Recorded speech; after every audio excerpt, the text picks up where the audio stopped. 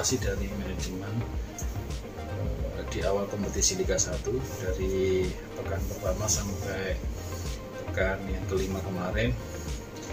Dan memang dari kesepakatan kami dengan Coach Gedok eh, ada beberapa target yang harus dicapai.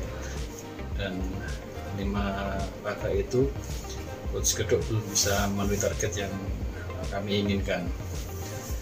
Dan perpisahan ini kami akhiri dengan baik.